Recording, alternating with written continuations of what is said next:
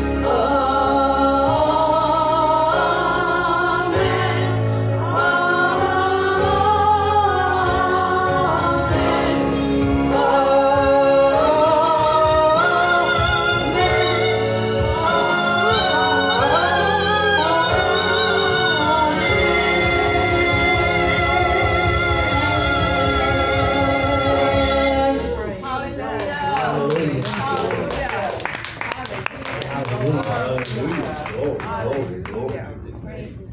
Now praise the Lord. Glory, glory to his name. Hallelujah.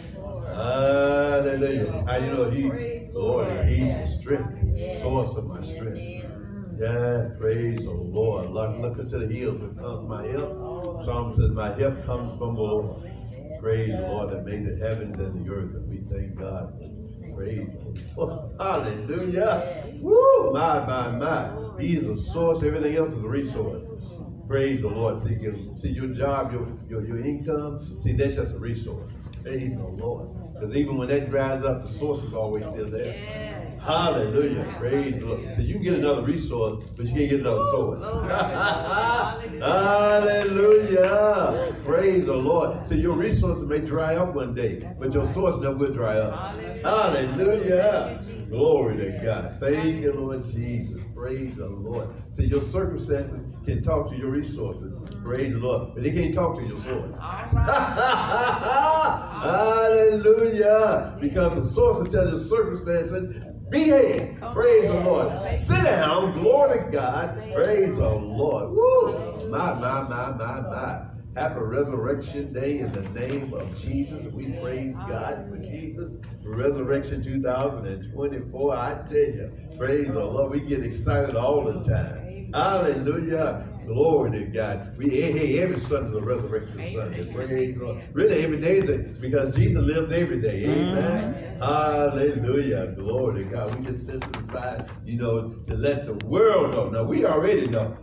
We let the world know that Jesus is alive today. Praise Lord. In case they forgot, we let them know Jesus is still alive. He hasn't changed. God is still on the throne. Prayer is still changing things and changing people. Praise the Lord. Hallelujah. Grace is still abounding. Praise the Lord. Victory is still won in the name of Jesus. People still getting saved, healed, delivered, and set free. Praise the Lord. Miracles are still taking place. Why? Because he's alive today. Huh? Glory to God. Praise the Lord. So again, we say welcome, welcome to each one of you and now to our Facebook family and to all of our social media family. We say welcome, welcome. House of Faith Christian Center 2024 Resurrection Day. And we are just so excited to be what God is doing here at House of Faith Christian Center and what God can do in your life as well. And so thank you again for tuning in for this broadcast. It's truly one word from God will change your life forever. And uh, we're just so excited about Jesus. And some people say, why are you happy? I said, because Jesus is alive. Praise the Lord. Hallelujah. I just believe when someone's alive, praise the Lord, you ought to be happy. Praise the Lord. Glory to God. Thank you, Lord Jesus. And so we're happy in Jesus. Hallelujah. So listen, friend, go ahead and hit like and share, hit like and share, and go ahead and call friends, family members, co-workers, uh, people you work with. Praise the Lord. Uh, let them know House of Faith Christian Center. We're live on the air contact. All your family members contact mama them, daddy them, baby brother them, baby sister them, Chiquita them, the glory to God, baby brother, all them. Let them know House of Faith Christian Center is on the air. We'll praise God for today, and all God is just doing in the name of Jesus. Praise the Lord. So uh, we're awesome time. This also Resurrection Day. We're going to take Holy Communion, and so you want to go ahead and get your uh, uh, bread and get your juice. Get ready for that as well. And then also you want to make sure you get your Bibles and praise the Lord and get a pen and paper. Prepare mistakes and get coach's notes. It's going to be so awesome today. I mean, glory to God. Did you that praise and worship? Woo, my goodness. Hallelujah. It was just awesome. We thank God for uh, our praise worship leaders. They just inspire us and take us to a higher height in Jesus. Hallelujah. So we praise God uh, for that. So we're going to get right into His Word. It's going to be so good. Got a lot of great things going on uh, today. A lot of busy day, and praise the Lord. But it's Jesus Day. It's all about Jesus. Huh? Look, somebody say it's all about Jesus. It's all about It's all Jesus. about Jesus. It's all about Jesus, and we're so excited about that. So we're gonna go ahead and get right into the Word of God. And so again, uh, you want to go ahead and get your Bibles out, whether you have it on printed text, whether you have it on your iPod, your iPad, uh, uh, whatever it is. Praise the Lord, and uh, it's gonna be so good. So let's get right into the Word of God, and God, like great things in store for you in Jesus' name. So if you would go ahead and open your Bibles up, and uh, let's make this confession of faith. And uh, again, happy Resurrection Day 2024. If I have not said that already, I'll say it again. Praise the Lord. Hallelujah. Say these words. This is my Bible. This is my Bible. I am what it says I am. I am what it says I am. I have what it says I have. I have what it says I have. I can do what it says I can do. I can do what it says I can do. I am now ready. I am now ready. Ready, ready, ready. Ready, ready, ready. To receive, receive the dynamic, dynamic, the powerful, the powerful, the ever increasing, the ever increasing, the life changing, the life-changing Word of God. Word of God. My mind is alert. My mind's My alert. heart is receptive. My heart's receptive. I boldly confess. I boldly confess. I'll never be the same. I'll never be the same. I same. boldly, boldly confess. I boldly, boldly I'll never, never be the same. I'll never, never be the same. I boldly, boldly, boldly confess. I boldly, boldly, boldly After confess. hearing God's word today. After hearing God's word I'll never, never, never be the same. I will never, never, never be the For same. thine is the kingdom. For thine is the kingdom. And mine is the kingdom. And mine is the For kingdom. thine is the power. For thine is the power. And mine is the power. And mine is the For power. thine is the glory. For thine is the glory. And mine is the glory. And mine is the glory. Forever. Forever. And ever. And ever. And ever. And ever. For this is, For this is my receiving my day. receiving day. In Jesus' In name. Jesus' name. Amen. Amen. and Amen. We celebrate Jesus on this day of resurrection. Praise the Lord. And uh, as already stated, we're just so glad to have the mighty woman of God back in our presence. I would call it a miracle. Uh, uh, Minister Marilyn Brown, praise the Lord. God has brought her. Uh, it's been about four months and about 10 days. Praise the Lord. Since she had, you know, I just call it a little bump in the road. Praise the Lord. Glory to God. A little bump. And uh, you're going to be hearing from her in a few weeks. And, and uh, you want to go ahead and get ready to try that. Tell people come. If they looking for a miracle, they to come and hear a miracle in a few weeks. And it's going to be blessed. You say, why is that? I say, because Jesus is alive. Because Jesus is alive. So listen, hey, uh, let's go right, right into this word of God. Uh, this year, God and, oh, by the way, have, have I said Happy Resurrection Day yet? Have I, I, I, haven't said it, okay. In case I didn't say it, Happy Resurrection Day again. All right. Now, uh, this year, God's grace for an open door 2024. We've been on it, and it's been so awesome that God's going to take us to higher heights uh, in, in, in the Lord. And so, uh, in our Bibles, in Revelation chapter 3 and verse 8, in the New Living Translation, uh, this is what it says. It says, I know all the things you do and I have opened a door for you that no one can close.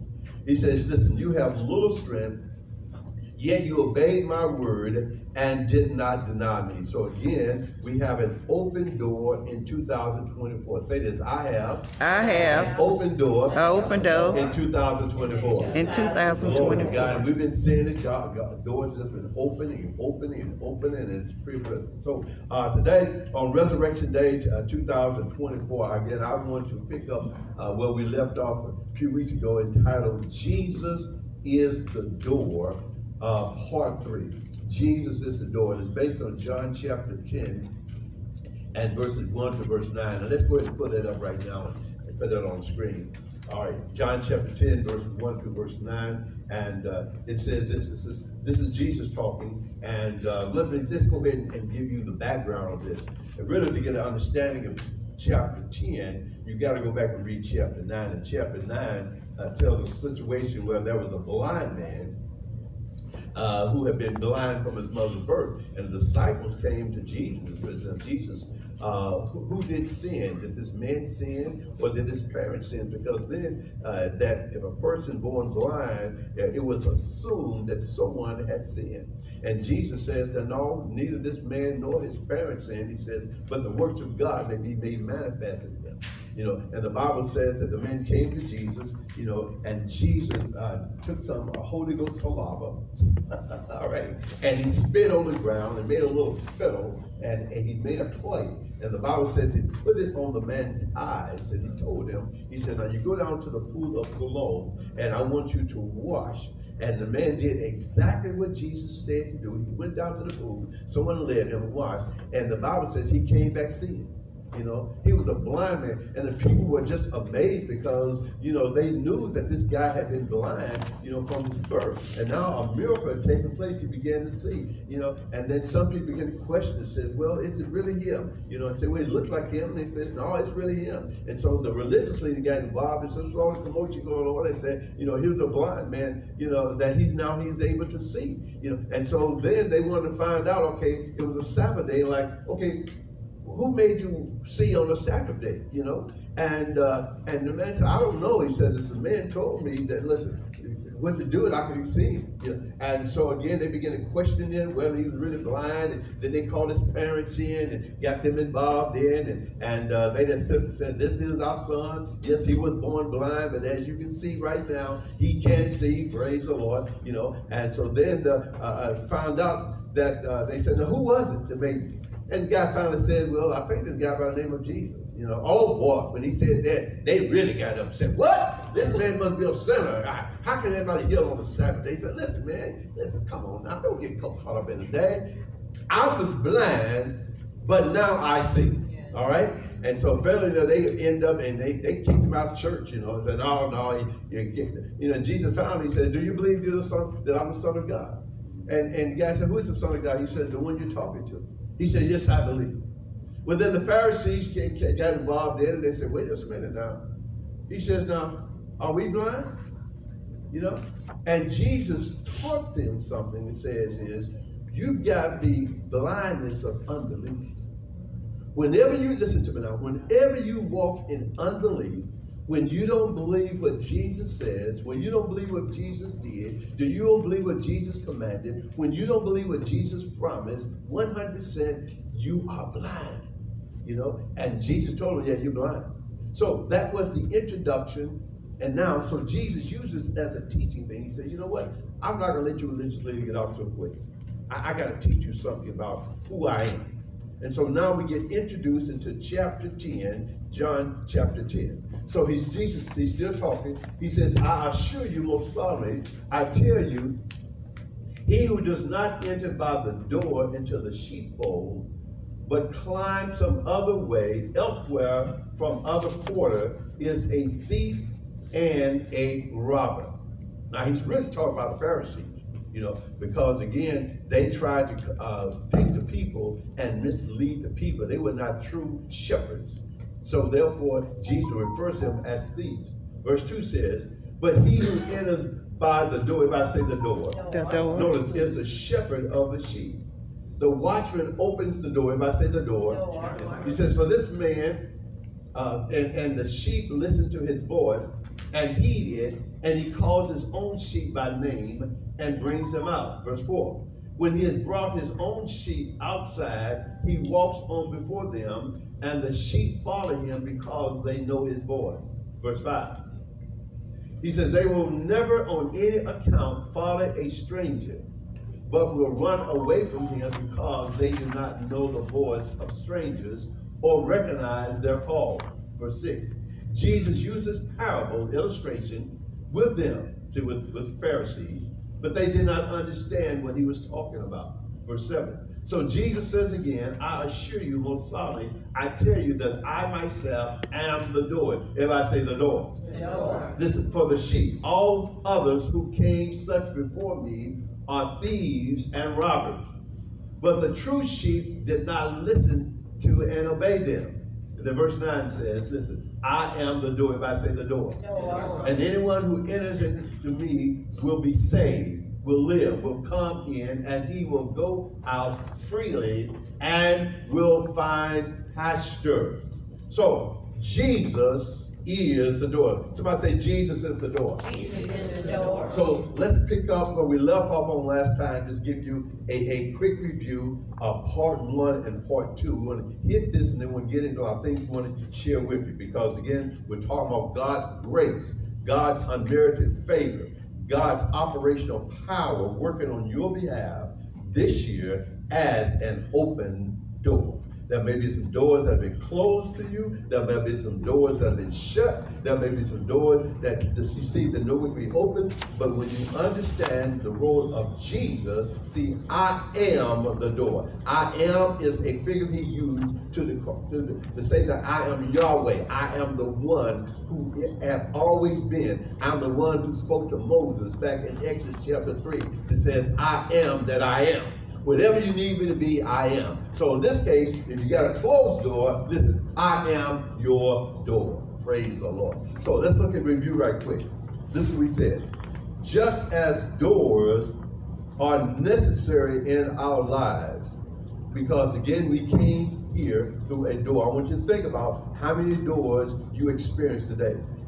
You woke up this morning, all right, and uh, maybe you went outside your bedroom door, and uh, then uh, maybe you went to the restroom door of your house, and then you know you went to the kitchen and you opened up the door of the refrigerator, you opened the door of the oven, you opened the door of the microwave, you opened the door of the cabinet that you went in, you know, and then you maybe went through another door, and then you came out the door of your house, and maybe you had a garage, you had to open up the door to the garage, and then you had to get into the door of your car, and then you got out of your car, you came downstairs to the door outside, and then you came out, and then you came through the door here. So again, all doors are necessary. And think about the doors. What would happen in your life if you just didn't have a door? You'd be stuck, you'd be stagnated, you'd be immobilized, you couldn't move. So doors are necessary. So Jesus says, I am the door, which means, listen, just as doors are necessary for your daily living, Jesus says, I am the door, and if you want to come to the Father, you got to come to me. Hallelujah. Glory to God. So again, people cannot get to the Father unless they go through Jesus, who is the door. Say this Jesus is the door. Jesus is the door. Now, people say, well, you know what? What if I get water baptized? That's good.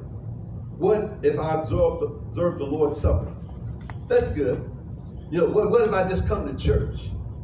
That's good. What, what, what if I try to be a good person? That's good. What, what, what if I just do a lot of good things? You know, that's good. And my friends, listen, all of these things, oh, maybe I just come from a religious background. All right? My family was grew up in church and they were very spiritual, they were religious, and that's good. Thank God for those things. But listen, my friends, I want to tell you, my friends, listen here, that these things are not the door. They're good, but only Jesus is the door. He didn't say your baptism is the door. He didn't say your Lord's Supper is the door. He didn't say that going to church is the door. He didn't say trying to be a good person is the door. He didn't say doing good works is the door. He didn't say religious family is the door. No, Jesus has to be the door. What does that mean? He's the door, which means what Jesus said, what Jesus taught, what Jesus commanded, what Jesus promised. Listen, what Jesus uh, said to us, that is the door. And unless we go through one of those areas, my friends, we will never really experience the benefits of the door. Someone say amen. Amen. Glory to God. So listen, only Jesus is the door, and when we possess him, we possess this eternal, everlasting life. Now, we also stated that there are four blessings we receive when we enter through Jesus as the door. Look at verse 9 again. Jesus says, I am the door. And he says, notice, anyone who enters through me. All right? So he's the door, but you gotta enter in. That means Your part is that you got to make a move. That means that, listen, you got to be progressive to go through Jesus. You just can't say, well, yeah, yeah, yeah, I just believe it. No, no, no. You've got to be very active to say, okay, Jesus, you're the door, and guess what? I have to enter through you as the door. So it's number one. Secondly, what happened is, when you do that, he says, you will be saved. In other words, you will live. You understand what life is all about when you say, Jesus, you are my door. You just want to exist. You just want to just go through school and have a family and get a job and get a career and do it. No, no, no. You really start living the life, the God life that lives inside of you because you'll start understanding you have a purpose. Look at somebody say, I have a purpose. I have a purpose. But until you go to Jesus' door, you don't know what that purpose is. And so I've got to say, Jesus, you're the door, so therefore allow me to start living. And some people start living earlier than others.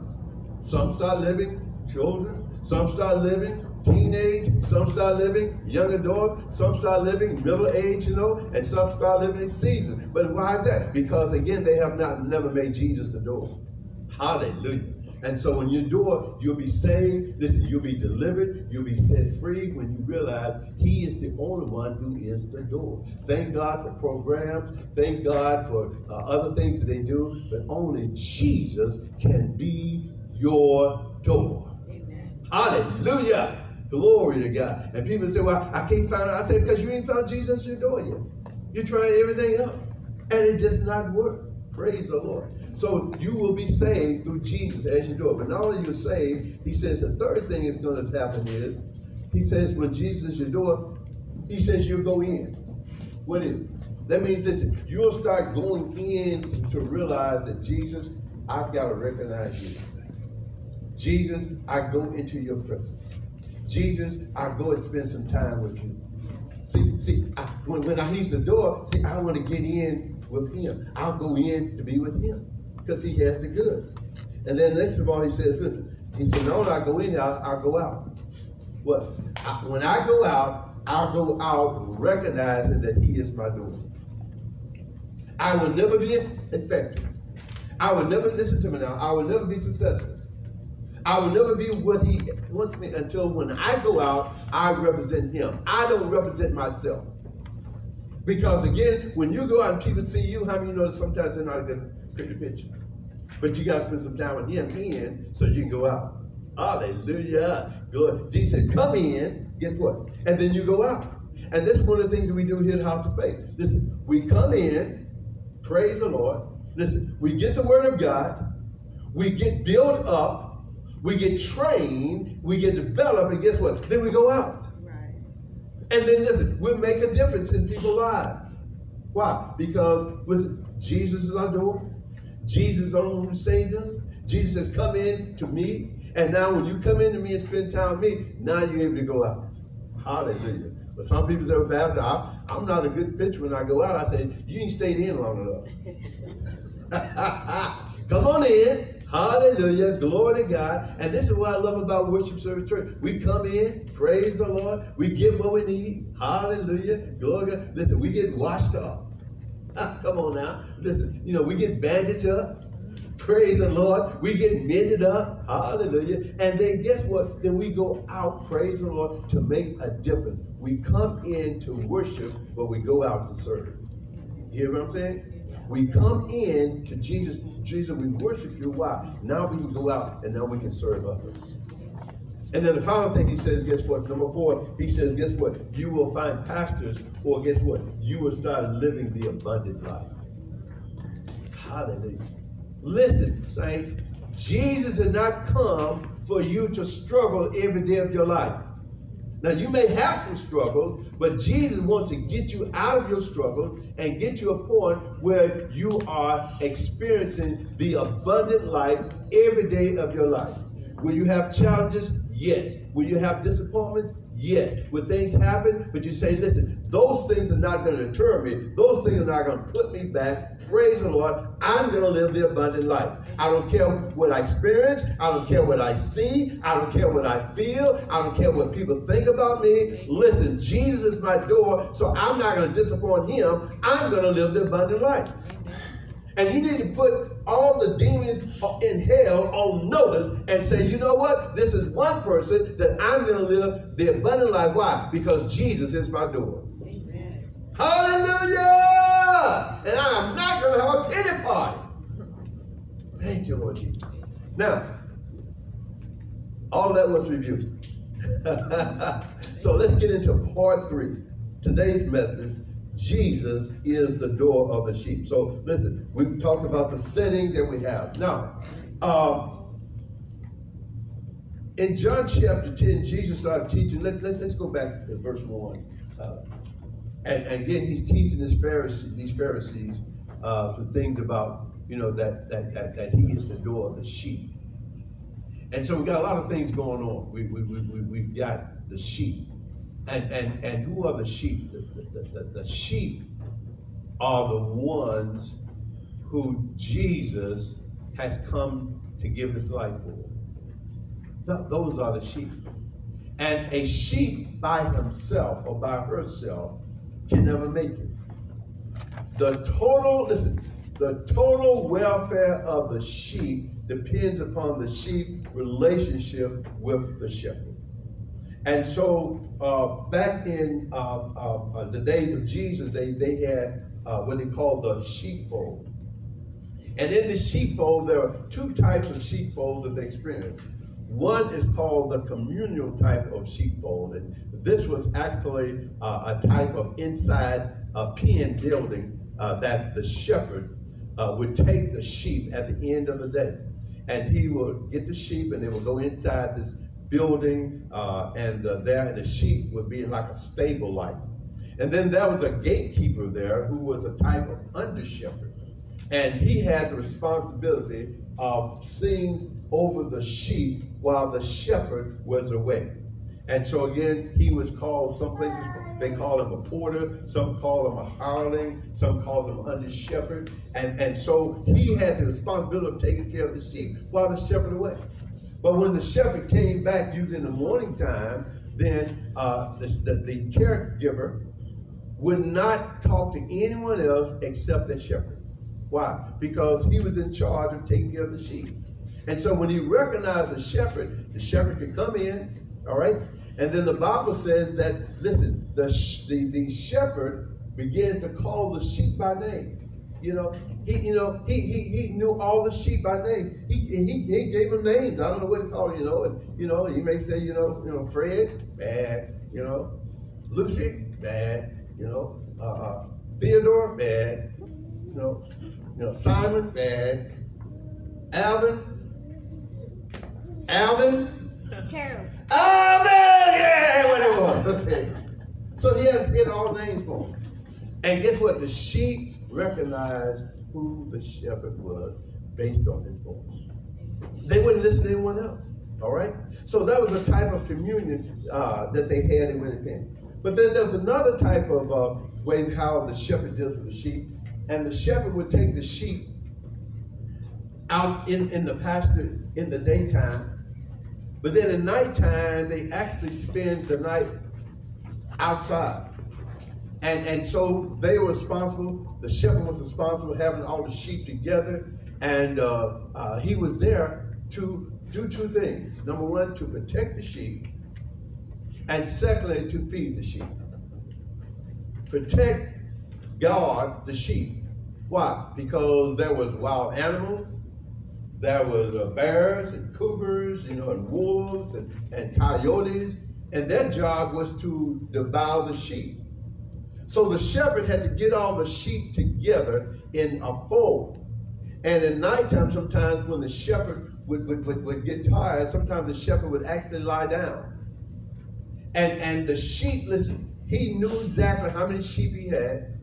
If one left, many times he would leave the 99 and go find that one sheep. However, the sheep, listen, could not actually come out unless they went over the shepherd. So that shepherd, listen to me now, the shepherd was a type of door. That shepherd was a type of gate that the sheep, listen, had to pass over to even get through. So when Jesus says, listen, I am the door, listen, I'm here for two reasons. I'm here, number one, to protect you, to guard you, and to watch your welfare, and also to feed you and to give you the abundant life. That's the job of the shepherd. So when Jesus says, listen, I am the door, you think about a door. I thought about a door one time. This is what came up. A door really means nothing to me unless I use it. See, you can have a door and I can just look at the door and I can say, you know what? I really need to go out that door. You know? And the doors won't say anything at all. Well, it'd be nice if I could go outside that door. It won't be anything else. So listen, it's not, listen to me now, it's not the duty of the door to open for me. It's a open, it's duty of me to open that door. Okay? You ever got up in the morning time, you know, and the door said to you, Good morning. Would you like to come out today? Did you lock me last night? No, the door don't talk to you at all. But the door is there for your benefit. And Jesus is there for our benefit. And we have a benefit to do two things. Number one, to open the door. And secondly, to close the door and to lock behind the door. All right? You know, my wife, she she she, she gets all the time, you know, because I'll be up sometime watching TV, what it is, you know, and uh, I, I I just get in the bed, you know, and I'll go and she says, Ronnie, did you lock all the doors? I like, okay, honey, all right, you know, and then, you know, I go back and I make sure all the doors are locked, you know, that they have that secure whatever, you know, because again, the doors have two functions. That is to be closed and locked and to be open. That's it. And so when Jesus uses metaphor, listen to me now. When Jesus uses metaphor that I am the door, his purposes is I want to close some things and lock some things, and I want to open up some things. And I want you to focus on this for the rest of this message. Jesus, you are my door. Say this, Jesus, you are my door. Jesus, you are my door. So Jesus says, listen, when you allow me to be your door, there are some things I want to close up, and there's some things I want to open up for you. Hallelujah. And so today, I want you to think about is, first of all, Jesus wants to close up. I want you to think, what are some things in your life today that Jesus needs to close? Now, don't be looking at somebody. All right, I ain't talking. No, no, don't be, don't be hit somebody. What's it? Ouch! No, no, no, no. I want you to think about yourself. Okay, Lord, there are some things in my life, Jesus, you need to close. What are someone say? When Jesus closed the door, it is listen. Your life before He closed the door, many times it may be dominated by sin. That's the door need to be shut. It's a life dominated by guilt. That door needs to be shut. A life dominated by pain. That door needs to be shut. A life dominated by loss. Hmm. Maybe it's the door of your past. That that door needs to be closed. Because what happens is when you continue to bring up your past about things you've done, things you could have, should have, would have done, whichever, you know, mistakes that maybe you made, whatever. And that door, you never shut that door, my friends. And now it is bothering you, it is haunting you, it is keeping you from progressing uh, what God. Why? Because you have not allowed Jesus to close that door in your life. Praise the Lord. Yeah, y'all quiet, so y'all listen to this. I love it. Praise the Lord. Just think about it. You know, why are you going through those same emotions all the time? Because you're not allowing Jesus to close that door. And then listen, some of you need, maybe need to close the door on some people. Let me get some water right here. Why is that? Because you're doing okay. But when that same people, that same little group come around, and you close that door, and you think you're having a good time, I'm talking to somebody here. And you really, after that, you feel worse. Why? Because you didn't close the door of that relationship. And you keep opening that door and you close it. You open that door, you close that door. You know, I, I like these old people, uh, older people. They sit around sometime and all, and they say, "Shut that door." Close that door. I'm like, what problem? You know, they just holler, close that door. Why? Because unwanted things are coming in. You know, you know, mm-hmm. flies coming in. Shut the door. Mosquitoes coming in. Shut the door. All right. Why is that? That door needs to be shut. And I want to tell you, my friends, sometimes you won't be able to go things from God until you make the decision and says, Jesus, I need for you to help me shut that door. I mean, seriously, I mean, I had to shut the door some people, you know, in, in, in, in my early age. I, I, I did, I had to shut the door because they didn't do me any good. I mean, you know, they, they went about anything. You know, you know, I just want to have a good time. Okay, well, what about after a good time? I don't know, you know. And today, some of them still live with mama. Hello, somebody. Still doing the same thing, still on the same corner, still talking the same jive, you know, and, and, and, and you want to go around, you know, I'm not saying dismiss it, I'm simply saying fellowship with them, that door needs to be shut. And you got to let it go. Your pain, your hurt, your frustration, you got to let it go. Because why? Jesus is the door. Somebody say Jesus is the door. Jesus is the door. Now, listen to me now. When we accept Jesus Christ as our personal Lord and Savior, listen to me now. I, I believe now, now the devil believes in Jesus. See, see, revel, listen, resurrection is not just believing Jesus got up. Resurrection is believing that Jesus got up for me, and now He wants to change my life. You hear what I'm saying? Because a lot of people, you know, oh, well, Jesus got okay, but what does that mean to you? All right. So Jesus, listen, when he got up, he's listen, he's the door. So that simply means that listen, he wants to be Lord and Savior. Everybody say Lord and Savior. Lord and Savior. See, notice I didn't say just Savior, fire insurance. Because there are people say, oh yeah, I want you to save me. All right? Because I don't want to burn. And so Jesus, it's okay to be my Savior, but Jesus don't want, just want to listen to me now. When he's the door, he's not just your Savior, he's your Lord. Now, what does that simply mean? That means now I talk to him and I ask him how to handle situations. I realize that my life is not my own. Psalm says, My life is not my own. To him I belong. I give myself to, to him. See, so now, Jesus, I need for you to Lord me in every area of my life. See, even Lord me for some doors that I'm refusing to shut. I need you to Lord me in those areas. And you know that I try to close those doors, and I, I, I try to like I'm going to close them, but then I, you know, I get scared and I open back up. So I try to close that door pane. I try to close, but it won't. Jesus, I need you to Lord me so that door be closed forever. Y'all hear what I'm saying now? And now he's lording me in that particular area. So listen to him now. Number one, first thing I do, I accept him as the Lord and Savior.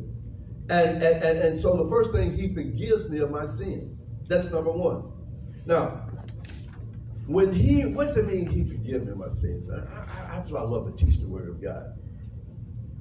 Man is born, listen, man is born into sin. See, we, we, we're not sinners because we sin. We sin because we are sinners. We have that sin nature.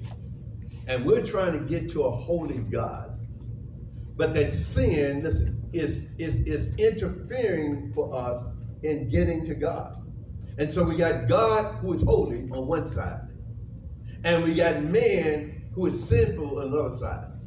And we've tried to do everything we, we can to the church, I get the Holy God. Well, if I try to be a good person uh, and, and do good things, I get the Holy God. Well, my religion, I get God. And none of those things will get us to God at all. And so there comes a separation between a unholy, unrighteous sinner and a holy God. All right? And so what happens is Jesus comes and he says, Now I got to bring a holy God and a unrighteous sinner together. So therefore, I will be the bridge to bring them. So to do that, I've got to have you as a sinner to be forgiven of your sins. Because that's the only way you as a sinner can get to a holy God. All right? And so, listen, I have to forgiveness has to come. But here's the thing about it is, forgiveness always has a price. See, in uh, Hebrews 9:22, it says, "For where there is no shedding of blood, there is no forgiveness of sin." So God requires that now, Jesus, if you're going to forgive this unrighteous man, some blood has to be shed. Because I can only recognize the blood. Why? Because there's life in the blood. So when you give your blood, you're giving your life. And now when you give your life, now I can see the forgiveness of this unrighteous man. And now this unrighteous man can become one with a holy God. Why? Based on not what the unrighteous man, but did what Jesus did who shed his blood. And so now I am forgiven of my sins based on the blood of Jesus. Not based on anything I did, not based on my religion, not based on me coming to church, not based on me taking Holy Communion, not based on me being baptized, not based on me trying to be a good person. That won't do it. See, that's all about me. But it's not about me, it's about Him, praise the Lord, who brings me to Him. And that's the forgiveness of sin. And so that's the first step. So I say, Jesus, if you're going to close the door, I got to be forgiven of everything I've done. But I'm forgiven and based on not what I've done, based on what you've done for me. It's, it's good news. Oh, that's good news. And so what happens is, so he closes the door based on that. But listen, here's the thing about it is, you see, Jesus didn't come just for you to be just to be saved. Listen to me now. He came also for you to have the power to overcome the guilt, the fear, the pain, the loss in your daily life. Now, so the first step is you got to know Jesus died for your sin. All right, let's go to uh, Romans 5, verse 8. Romans 5, verse 8. These are basic teachings, again, when Jesus is your door. Again, he is not your religion, he has to be your door. He is not your baptism, he has to be your door. He is not you taking the Lord's Supper, he has to be your door. He is not you trying to be a good person and do good works, he has to be your door. Hallelujah. He says, but God shows and clearly proves his own love for us by the fact that while we were still sinners, okay? See, these, you talk to people, well, Pastor, preacher, when I get myself together, you won't. Because see, if you, it's based on you getting yourself together, why would Jesus have to come? Think about it. Jesus, oh, they get themselves together, they don't need me. No! So God love realized you couldn't get yourself together. You couldn't get it right. You couldn't cross all your T's and dot all your I's. You couldn't do it yourself. But so God, my confidence is not so much in what I do. My confidence in you who love me when I was still in my mess. When I still couldn't get my act together. You know. See, people got this false notion. I don't know where they get it from. That you know what? I gotta be, I gotta be perfect before I come to church. Okay? Now, if that was the case, our doors would stay closed all the time. Nobody, including me, will be able to get in. The church is not for perfect people. The church is for people who are seeking forgiveness. And we're like God sent his love for us when we were not able to do things for ourselves. He loved us, the Messiah. He died for us. I love those songs we sung in the Baptist church. It says this. I was sinking deep in sin, far from the peaceful shore. Buried deeply stained within, sinking to rise no more. But the master of the sea heard my despairing cry. From the waters lifted me, now say, am I? Come on. Love lifted me, love lifted me, when nothing else could help. Love lifted me, Love it in me, love it in me. When nothing else could help, love lifted me. Don't you ever think you pull yourself up by your bootstraps. Don't you ever think you was all this and all that. Don't you ever think you had yourself together. No, it was God's love that saw you in that condition and says, you know what? I'm going to reach down and pull you up. And my confidence is not in my abilities. My confidence is in this love. Hallelujah. Well, Pastor, you ain't right. I, all right. But I know one thing about it. I know He loves me. But Pastor, you shouldn't say it that you shouldn't say it. I know that. But guess what? One thing I do know, He still loves me. Hallelujah. Look at the Bible say He still loves you. He loves you. Even in the midst of your mess, even you can get yourself together, God's love is the one who pulls you out.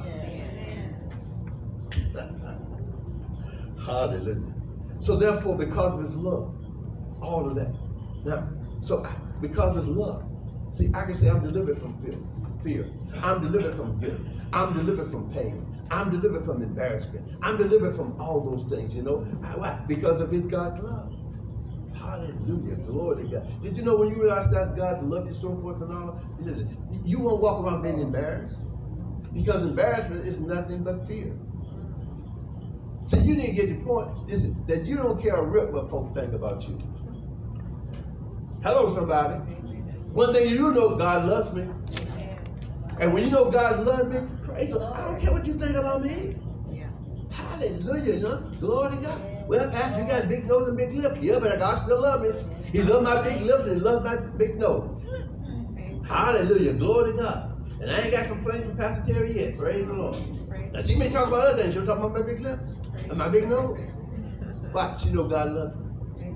Hallelujah. Glory to God. So Roman. Now, now here's the other thing. Not only do you know that God, Jesus died for our sins, but also, listen, I want you to know that Jesus died in order that you could avoid keep on sinning. Huh? Because I talk to people all the time. Well, you know, yeah, I'm, I'm saved now, but you know, I can do what I want to do. You, you miss something here. Look at 1 Corinthians chapter 15, verse 15, verse 34. For all those folk who think that because they're saved, they can just do what they want to do, keep on sinning. Verse 34 says, this is from the, uh, I think this, the New Living Translation, I believe. Uh, it says, think carefully about what is right. Now, before you do it, just think about it. You know, I deal with, I, I, I deal with, you know, high school students all the time in, in school suspension. And, and this is what I, I would tell. I said, let me ask you something here. I said, now, don't answer yet. I want you to think about this. You know, yeah, so you ready for you? I said, let me ask you. I said, now, if you knew that you was going to get caught, would you still did it? But you did wrong. And they looked for a. I said, don't answer. If you know exactly that what you're going to do wrong, what you did wrong, because you know you did was wrong. If you knew you were going to get caught, would you still did it? And one of them said, all of them said, no, I didn't. I said, so you knew the right thing to do, did you? He said, yeah. I said, so the scripture says, think carefully what is right. Well, well, Pastor, how can I do it? Just ask Jesus. Jesus, could you please help me so I can always think what to do is right? Pastor, that sounds too easy. It's right. You I tried sometime. Jesus, I need you to help me so I can think to do what's right all the time. I can, yeah, I do it all the time. Guess what? You don't hear about a secret. It works. Because I want to please Jesus. How many want to please Jesus? So just ask him. Jesus think what's doing right. Right. Right.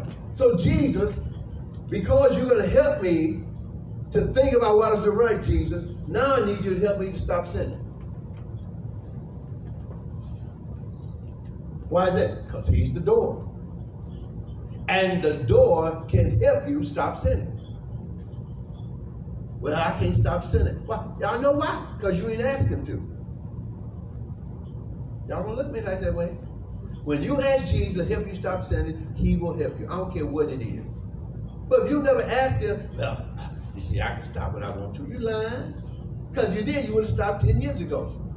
But when you say Jesus, because you're the door, And because you died on the cross, I need you to help me stop sinning. Now, don't you be looking at somebody else now. He talking to you. No, I'm talking to you. All right? I'm talking to you, and I'm talking to you, and I'm talking to myself as well. Why? Because he is the door. Say, Jesus is the door. Jesus is And he can help you stop sinning. Why? Because sin has stopped every fellowship you have. He says, For to your shame, I say that some of you don't know God at all. what? I dare you, preacher. Tell me I don't know God. I didn't tell you that. The word says that. What do you mean you don't know God? You don't know God can deliver you from everything you're going through.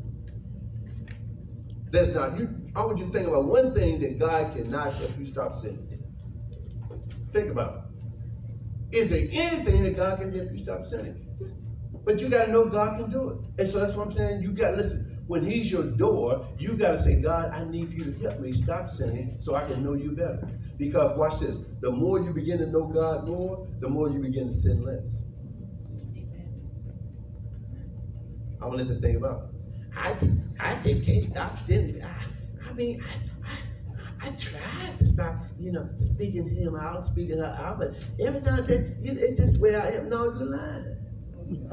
you did it because you want to. Go get some water right here. Nobody put a gun and made you cuss him out. No. You did it because you want to. Because you failed to say, Jesus, I need you to do it to help me stop sinning and do what's right. We're gonna make this confession. Say this. Father, Father, in the name of Jesus, in the name of Jesus, by the power of the Holy Spirit, by the power of the Holy Spirit, I need you I need for you to help me to help me to think to think carefully carefully about about what is right what is right all the time all the time and to stop sinning. and to stop sinning Because I want to know you better. because I want to know you better. I guarantee you say that consistently over and over, you're gonna start seeing your life. Okay? So that's it. Now I gotta move on. All right. 'cause y'all really excited about that. Okay. Now, not only does Jesus wants to close the door, but also he wants to open some doors. Everybody like that, praise the Lord. And the first door he wants to open is the door you're spending more time with him. All right? Look at uh, 1 Corinthians chapter 1, verse 9. Oh my goodness, it's so good. When Jesus your door. Jesus will close some doors, but also he wants to open the door. All right? This. He says, God is faithful. Everybody say God is faithful. I mean, you know God is faithful, all right? He's faithful all the time. He comes through all the time. Praise the Lord. I may not be faithful, but we serve a God who is faithful. Praise the Lord. When people say, you're not doing this, I say, yeah, but the God I serve is faithful. Praise the Lord. Well, you're not perfect. I know I'm not perfect, but I serve the one who is perfect, and he's faithful all the time. He's a good father. All the time. Watch this. By whom you were called. Now listen, he's faithful, called you into what? To what? Fellowship. Fellowship of his son, Jesus Christ our Lord. So listen, he wants to open the door so you have a constant fellowship with him all the time. You say, how do I? Just talk to him. Jesus, I need your help. Jesus, listen, I want to please you today because I want to fellowship with you. See, how can you fellowship with somebody that that that, that you don't spend no time with? And you got to realize, listen, when you listen to me now, when you're going through a difficult time, listen to my word, everybody listen to me now. When you're going through a difficult time, you've got to realize that Jesus is in the boat with you. You remember those disciples? Mhm. when they was on the ship, and and, and, guess what? The water was coming in, and, and, and, and, and it was filling up the water and so forth. And your Bible says that Jesus was fast asleep on a pillow. They had to wake Jesus up. But one thing they realized that listen, although he was asleep, he was still in the boat. And you may think that Jesus is going to sleep on you. You may think that he's not to you. But you got to realize that, listen, what I'm going through right now, Jesus is still in my boat. Praise the Lord. I want to fellowship with him. I want to talk to him. And when I need to, I say, Jesus, wake up! Fellowshipping with Jesus, partnership with Jesus. I, I- I guess I want you to see this, this Christianity is not just coming to church and, and trying to do the best that you can. Listen, if that was all about, listen, I would still be a heathen. Huh? Yes, I would. Why? Because there's some preachers who still heathen. They think Christianity is nothing about them just coming to the pulpit and preaching on Sundays, you know, and, and, and talking to people uh, about Jesus, and they go and live in kind of lifestyle they want Monday through Saturday. That's not Christianity. Christianity is fellowship with Jesus every day. Monday, Tuesday, Wednesday, Thursday, Friday, Saturday. That's why I can have a sanctified Sunday, a marvelous Monday, a terrific Tuesday, a wonderful Wednesday, a thankful Thursday, a fantastic Friday, and a spectacular Saturday. Why? Because I fellowship with Jesus every day. And when you fellowship with Jesus, hey, every day is a good day. My wife will tell you, he don't have bad days. Is it because I'm special? No. I mean, excuse me, how in the, excuse me, how in the, you know what, can I have a bad day when I'm fellowship with Jesus every day? And he's in my boat. You have bad days when you don't fellowship with Jesus. And even stuff that you don't know how to take care of, you call on Jesus and say, Jesus, let me fellowship with you. And let me spend time with you. I don't know how to do this situation. I need your wisdom. I need your guidance. I, I, I need your uh. I just don't know what to do. So Jesus, I want to hang out with you. I want to fellowship you. I want to be partners with you. And guess what? Why? Because listen, when you do well, I do well. And I take you everywhere I go.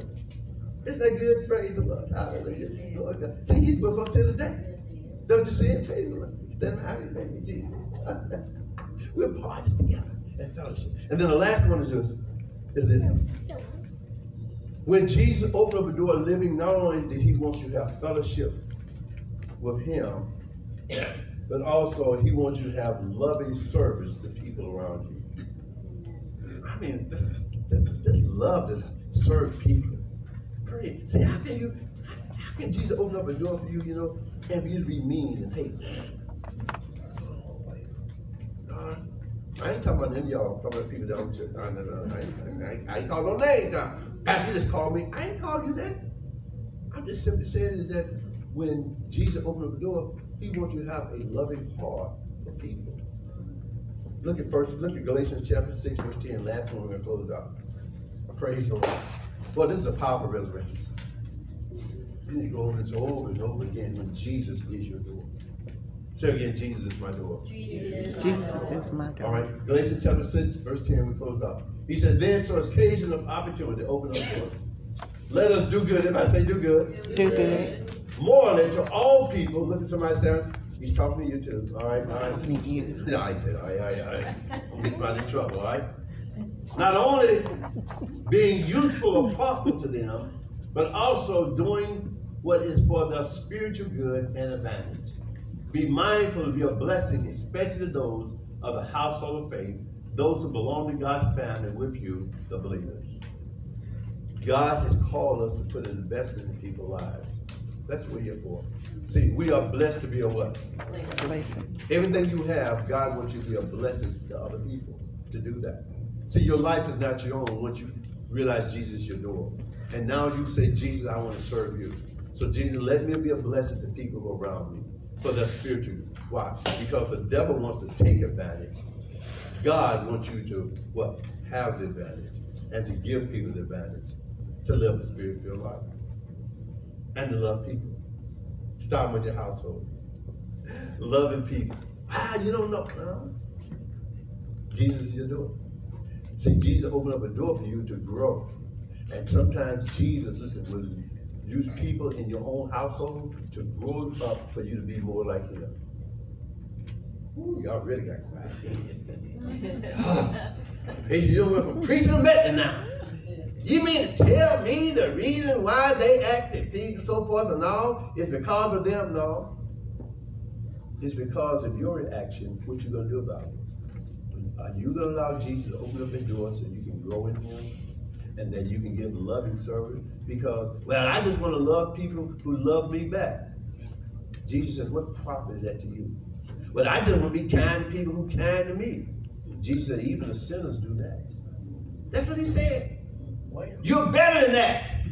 And so therefore, yeah, sometimes things happen in your family, your loved ones, and, and the people around you and on your job, in your business, so forth and all. And It is not so much them, it's for you to grow up. And to be more like Jesus. And say, Jesus, I can't do this thing wrong, but you'll be my door. And therefore, I'll love people, but especially the household of faith. Hallelujah. Amen. Happy Resurrection Day. You better stand up. Hallelujah. Glory to God.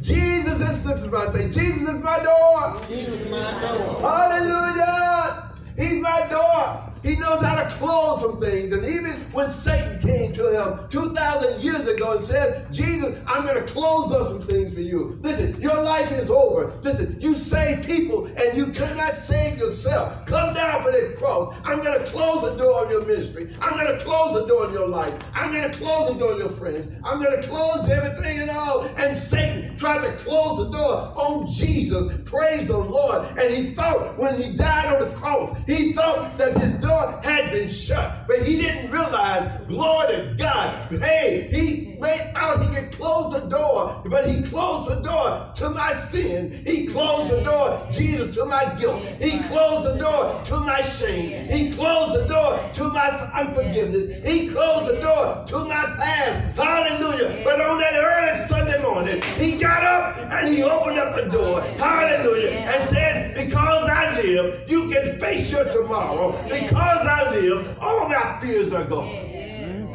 Hallelujah. Saints, we got an open door. An open door to everything you need in Jesus. So let's go ahead and take, it. let's go ahead and take our confessions. Praise the Lord.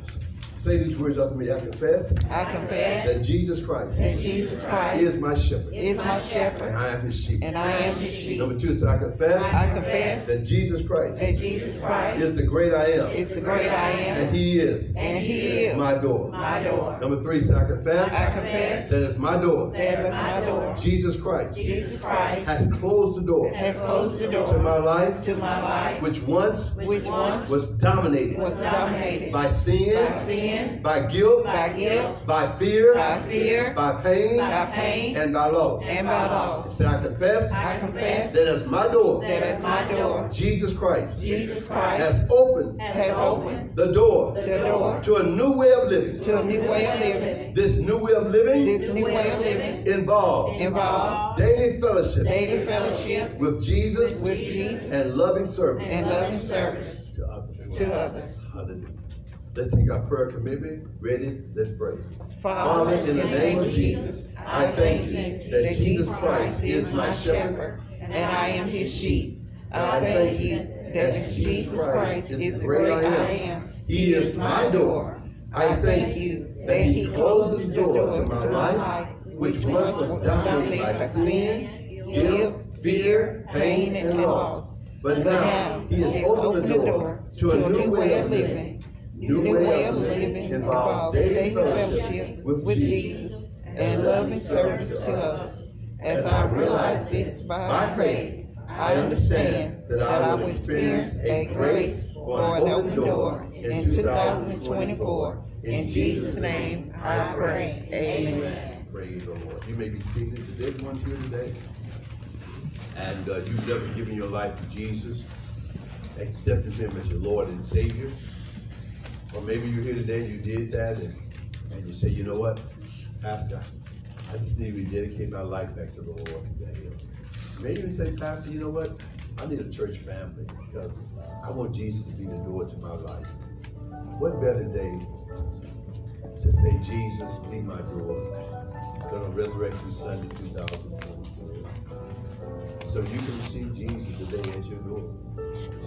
And all those things. You can be a believer, of a belonger, and a becomer. Why? Because Jesus is your door.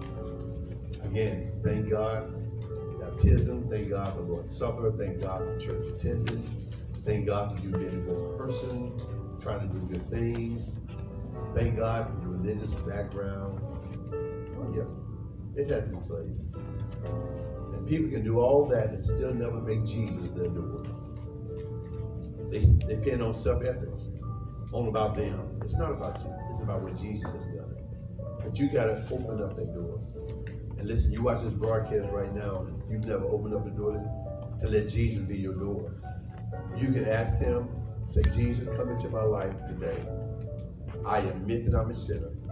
I deserve to die in my sins. I, I also believe, Jesus, that uh, you took my place at the cross.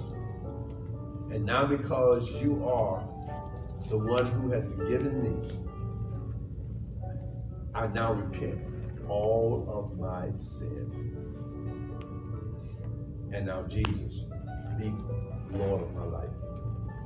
My friends, you can do that right now today on Resurrection Sunday 2024. Allow Jesus to be your Lord. Yeah, I believe in Jesus. A lot of people believe in Jesus, but he's not that door. Yeah, I'm not a bad person. I didn't say you were. But still, Jesus is not your door. And you ask yourself, is he your door? And he's not, what are you going to do about it? He says, Come unto me, all you that labor and heavy laden, and I will give you rest.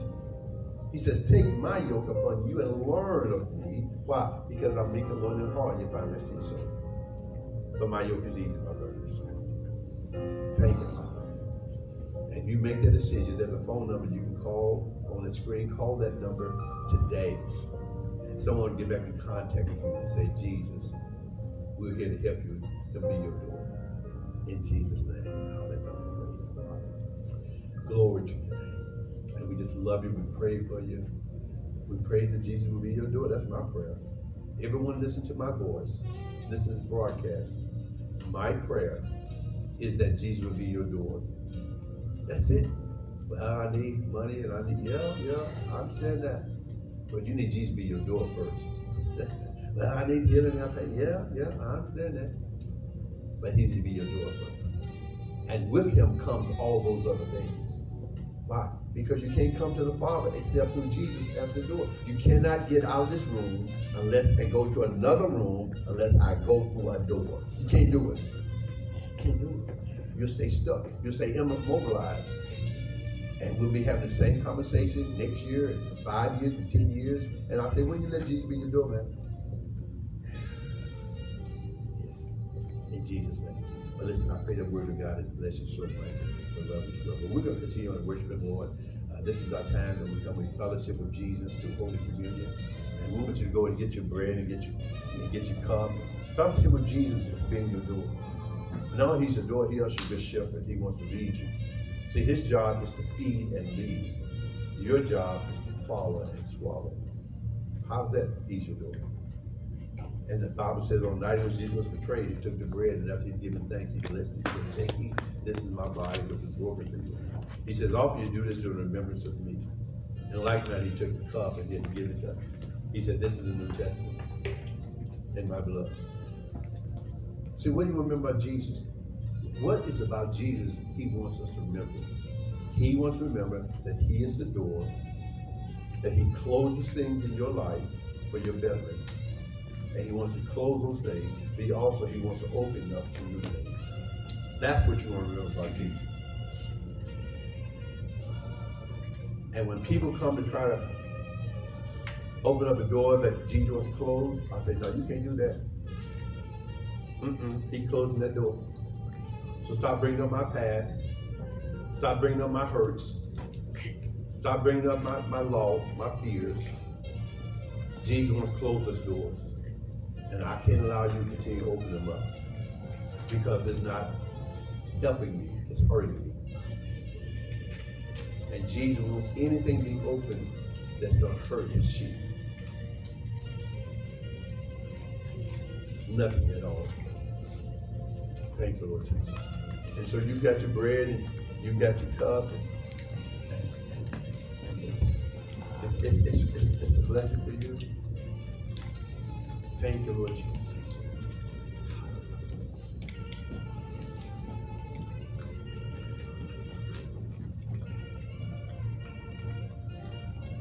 This bread represents our healing. And Jesus took those stripes upon him as he went from judgment hall to judgment hall, brutally. I mean, his body was just made. He did it for us because of love. And those stripes was for our healing. And the Bible says, that by his stripes, we are healed. And so in remembrance of Jesus, because he is the door to our healing, everything we need, we can memorize this because as often as we do is remember him. So let us eat for our healing In Jesus' name, amen. And now the cup, the shedding of blood, the forgiveness of all of our sins, past tense, present tense, and future tense. So we close the door to a to an old life and open door to a new life in Jesus because of his blood. Let us now drink.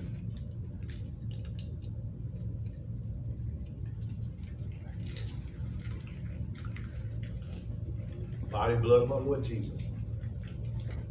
In remembrance of him being our door. Thank you, my friend. You just taking the communion, that bread, that juice. And once you see Jesus is a door, close some things, but also also open up a new door of abundant living that you've never experienced before. And that's why our motto here is of faith. We didn't simply say it's faith. A new door. Grace for an open door in 2024. In Jesus' name, amen. Praise the Lord. Well, listen, we're going to continue on worshiping the Lord and thank you again for your obedience and Holy Communion. Praise the Lord. It is now opportunity for prosperity. Woo! You need an offering envelope, raise your hand. We'll give you one of those. So listen, uh, we have an opportunity to give because Jesus is our door.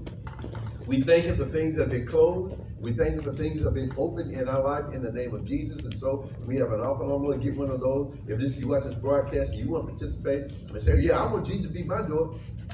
Well, listen, you can help participate in what we're doing through giving, uh, House of Faith through giving. And way how do we give? We give several ways. Number one, we give through text giving. You can download the app on, on your phone through the House of Faith Christian Center, find that out, and then go ahead and give through text giving, put in the numbers there, and that'll be a blessing to you. Also, you can give through online giving, which is one of the most popular ways of giving. And you go to our website, houseoffaithchristiancenter.org, and uh, then just follow the directions. Uh, and find where it says donate, and then you can just give as God has blessed you and praise the Lord. Use your credit card, use your debit card, and just truly let it be a blessing to you. Third way that you can give also, uh, you can give, or you want to give through checks, or you can give through money orders. You can write a check, make it out to House of Faith Christian Center. Uh, our address is Post Office Box 985, Smyrna, Tennessee, zip code 37167, and you can give. Or if you want to give through Cash App and give to Ronnie Simmons Ministries, you can use a dollar sign RDS Ministries as well. Listen, but however you give, I want you to remember this. He said the seed leaves your hand and never leaves the earth. And you're sowing good seed on good ground. Whether the Lord needs our money now, the Lord needs our money. But we do need the Lord open doors for us. I tell you right now, because I don't want to be stuck. I don't want to be immobilized. I don't want to be not going anywhere. I want doors to be open. Praise the Lord. And He has a brand new life for you to live through open doors. And so I said, God, now I'm trying to get you to do something. God, I'm thanking you for what you've already done. You will open doors in the name of Jesus. And so, listen, you got an envelope. Also, praise the Lord. Uh, this is also uh, uh, Mission International Missions Day and that we give to our, our missions over in the Congo. Uh, praise the Lord. We sow seeds over there as well. And uh, we got good fruit over there going in the name of Jesus. And so uh, we got a lot of things going on in giving on Resurrection Day. And we're just so thankful. Why? Because Jesus paid it all. All to him I owe. Sin and left a crimson stain. But guess what? Jesus, he washed it white as snow in Jesus' name. So let's hold our offerings right now. Father, we want to thank you, praise you, Father God, for the gift that you've uh, given unto us, which is being Jesus being an open door. And now, Father, we just share the blessings of God upon us. Thank you, Father God, for your love you have for us. And Father God, we thank you. You speak the hearts of your people to your people. Speak to heart. Show them that your son Jesus is their door. And how you close some things, you open some things for them. And Father, we thank you, Father God, for all those participating, our members, our friends, Father God, uh, those who watch this broadcast through Facebook Live, Father God, even our own sons and daughters, our family members, that Father, we are sowing in the good things that you're doing here at House of Faith. And we honor you, we thank you, Father, and we proclaim Jesus is alive. In Jesus' name we pray. Amen and amen. Praise the Lord. Glory to God. So let's just give. God has blessed us. And we want to thank you in the name of Jesus. Praise the Lord. Glory to God. In Jesus' name. Thank you again for your beatings. And uh, whew, I just love to give. I love to give the Lord's money. Hallelujah. Praise the Lord. Because he is my door. Now I want to tell you, praise the Lord. We're going to teach and show you that when Jesus your door and you be obedient what Jesus tell you to do, you start seeing that door become wider, and wider, and wider. praise the Lord. Why? Because God is service faithful. And we praise the Lord. Well, listen, hey, we've had an awesome time. Facebook Live. To thank you. Say Resurrection Day for you in 2024. We'll love you and praise God. You have an awesome day and, and this day, and, and, and God will just pour blessings upon you in an awesome way in the name of Jesus. So again, I'm Pastor Ronnie D. Simmons, pastor House of Faith Christian Center. At House of Faith Christian Center, we have a threefold vision. That is to exalt the Savior, equip the saints, and evangelize the sinner. At House of Faith Christian Center, we have five purposes. There are evangelism, worship, fellowship, discipleship, and ministry. In House of Faith Christian Center, we are minister of excellence, effectiveness, and encouragement. Again, I'm Pastor Ronnie D. Simmons, pastor of House of Faith Christian Center, and I wanted to leave you these familiar words. Remember that Jesus is Lord, and continue to show compassion in your action. We'll see you next time. God bless you, and have a great day in Jesus. Happy Resurrection Day. Bye-bye.